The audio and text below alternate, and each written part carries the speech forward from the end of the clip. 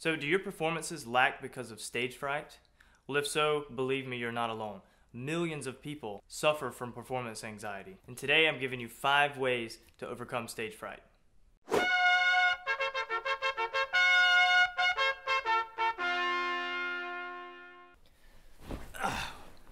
What's up, everybody? Welcome to Trumpet Geek Nation, where we talk tips, tricks, gear, and other general geekiness revolving around the world's coolest instrument, the trumpet.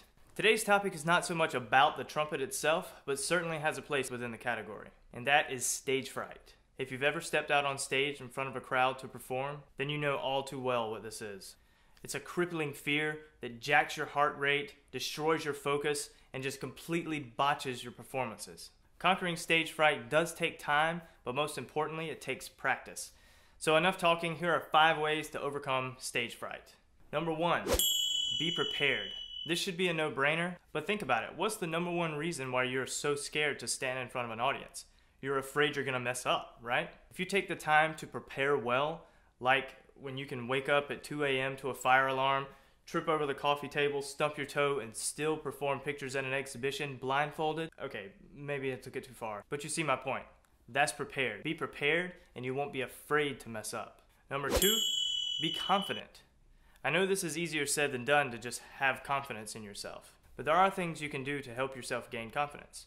Like having a mantra or a phrase or a sentence that you can say that's confidence boosting, that boosts your self esteem, or something else that can help your confidence, and this should go without saying, but you'd be surprised, especially in a college environment. Take a shower, comb your hair, wear a nice suit or dress, or a colorful tie or bow or something that makes you stand out. Those kinds of things will boost your confidence. And remember that your confidence can rub off on the audience as well. And if the audience is that you're confident and relaxed, that will rub back off on you.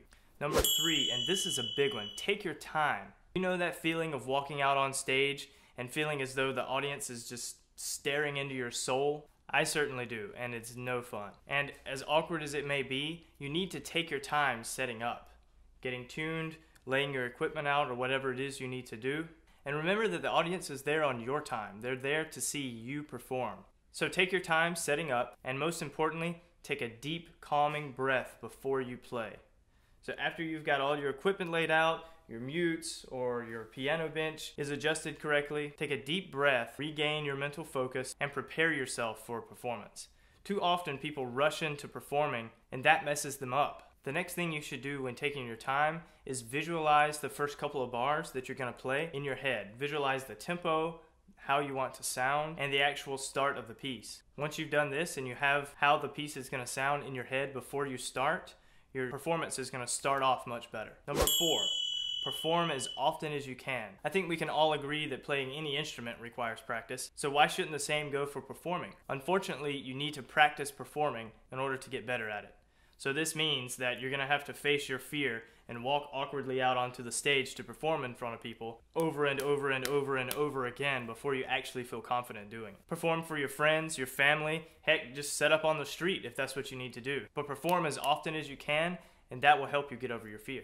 Number five, don't expect to be perfect. Unfortunately, with the rise of digital media, we have succumbed to what I like to call the perception of perfection, meaning that we have developed this idea that we have to sound exactly like the recordings that we hear, which most of the time are edited and sound perfect. We listen to CDs of the best instrumentalists, singers, or whatever in the world, and we feel like we have to be and sound just like them in order to be good. So when we crack a single note or play a note out of tune, we spiral into this crippling self doubt that just botches the rest of our performance. It's important to know that even the best players in the world mess up. Even the best players have a bad day.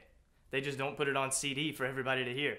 So give yourself room to mess up. Give yourself room to say, you know what, overall that was a really good performance. If you do that, then performing will become a whole lot more natural. So that's all for me today, guys. If you enjoyed this video, hit that like button. Remember to subscribe for future content, and I'll see you in the next video.